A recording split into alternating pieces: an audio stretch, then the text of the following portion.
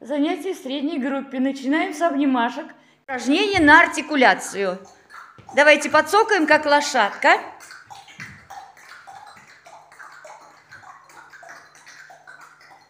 Теперь поцелуйчики.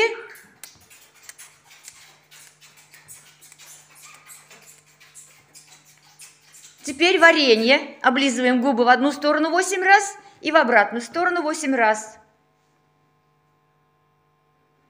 Тело свободно. Раскрепощаем все мышцы.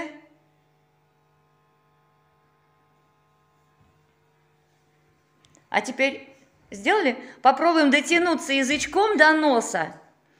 Это упражнение помогает раскрепощать нижнюю челюсть, освобождать и укреплять мышцы языка. Ой.